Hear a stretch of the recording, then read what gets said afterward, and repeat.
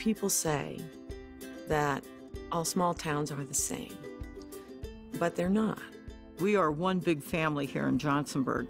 We have wonderful parks, we have great little stores. Everybody's pretty friendly and willing to help anybody out. I love the people, and they've really been wonderful to me. You may squabble, but you stick together when times are tough.